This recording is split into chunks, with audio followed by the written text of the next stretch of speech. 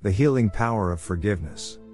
In a small quiet village nestled between towering mountains and lush valleys, lived a wise old saint named Elijah. His wisdom was known far and wide, and people from surrounding villages often came seeking guidance.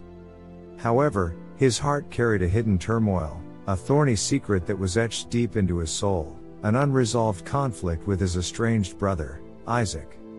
Isaac and Elijah were sons of the village's most respected healer. Growing up, they were the best of friends, sharing dreams, secrets, and laughter, till one fateful day, friendship turned into rivalry. Triggered by a misunderstanding over their father's property, Isaac and Elijah's bond transformed into bitterness, tearing them apart.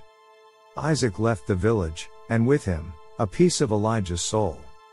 As the years passed, the wound of their separation festered, turning into a labyrinth of suffering for Elijah. It was a path of unforgiveness he tread upon each day, accompanied by remorse and sorrow. His warmth, once radiant, was now dimmed by the shadow of resentment. One day, a luminary monk, revered as Master Ming, visited their village. He had heard tales about the wise old saint, and the maze of torment he was lost in. With profound empathy, he approached Elijah and asked, Why does a man of wisdom choose to endure instead of escape? Elijah, touched by the monk's perception, shared his tale of pain and remorse. Master Ming listened attentively and then spoke in a serene tone Elijah, carrying the burden of resentment won't take you anywhere. May I tell you a secret? Elijah nodded. There is only one key to release you from this prison of suffering forgiveness. But how can I forgive Isaac? He wronged me. The wound is deep, and the pain immense, Elijah countered. Master Ming replied, Forgiveness isn't about the other person. It's a gift you give yourself. It's the path of emotional liberation. It's a way to melt your icy heart and allow love and peace to bloom. Your pain is the labyrinth, and forgiveness is the escape. Although moved by Master Ming's words, Elijah found it hard to embrace their truth.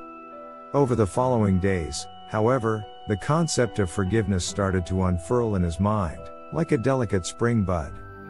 He started meditating on it, understanding its significance, and slowly, he felt an unfamiliar warmth kindling in his heart.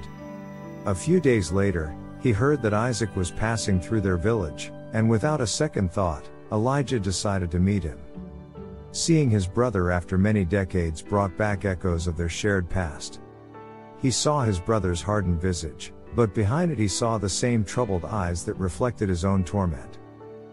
With tears streaming down his face, Elijah embraced his brother. I forgive you, Isaac, and I ask for your forgiveness too. Our estrangement has caused us both unfathomable pain. I release us from this labyrinth of suffering. Isaac, taken aback by his brother's words, broke down. In the silence that followed, they both found solace and the beginning of healing. Elijah's heart was surging with a joy he hadn't felt in decades. It was as if the labyrinth had dissolved, replaced by a flowering meadow. The wise saint realized the true power of forgiveness and how its healing balm could end years of suffering. Thus ended the tale of a pair of brothers who learned through suffering that the path to inner peace starts with forgiveness. Their story served as a reminder to their village and anyone who heard it that forgiveness is indeed the only way out of the labyrinth of suffering.